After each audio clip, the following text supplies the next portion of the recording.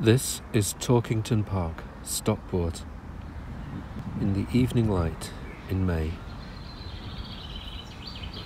And these are meant to be videographs, like photographs, but moving and with sound effects.